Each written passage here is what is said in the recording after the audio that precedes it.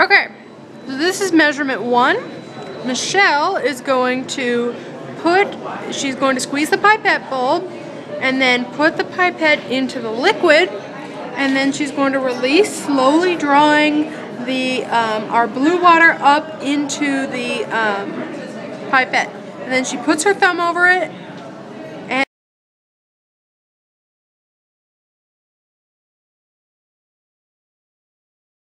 and then we will see what our measurement is and it looks like we have a solid 8.12. 8.12.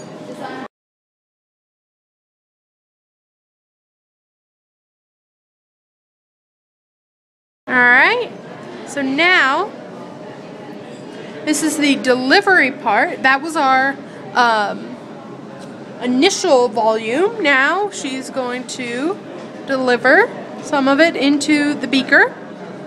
And now we are going to take our um, Second measurement.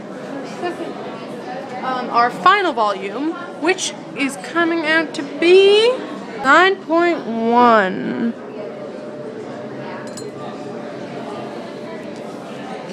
Okay, so there's our first measurement. Now,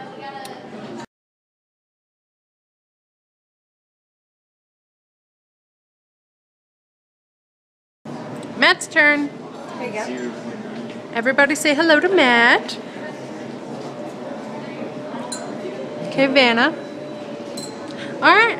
Now, Matt is going to squeeze the pipette bulb. Matt is going to draw it up into the thing. Matt likes to draw lots.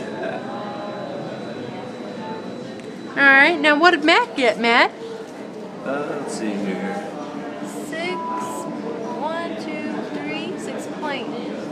6.31. Go you, Matt. Four for you, Matt.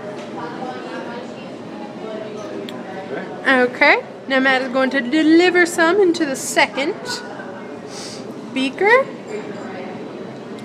And how much do we have left?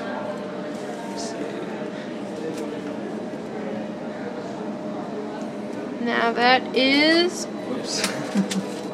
it looks like we're at an almost even 8, so we're going to say that's 8.04. Point oh four. Yeah? All right.